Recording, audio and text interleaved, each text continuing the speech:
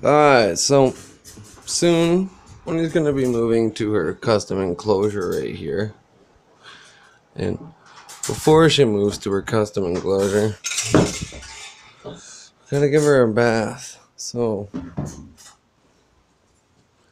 she just shed a couple days ago. We're gonna go ahead and get her out and get her in the tub and get her soaking so we can clean out her uh, cage and everything, get her ready for be with you in a minute. Alright, so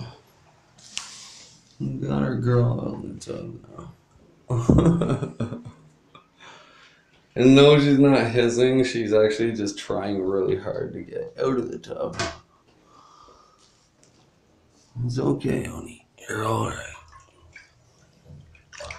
It's very hard to stop her once she wants to go somewhere.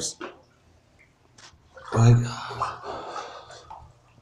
as you can tell, once again, not hissing, just, you know, really like flexing, trying to get out of the tub.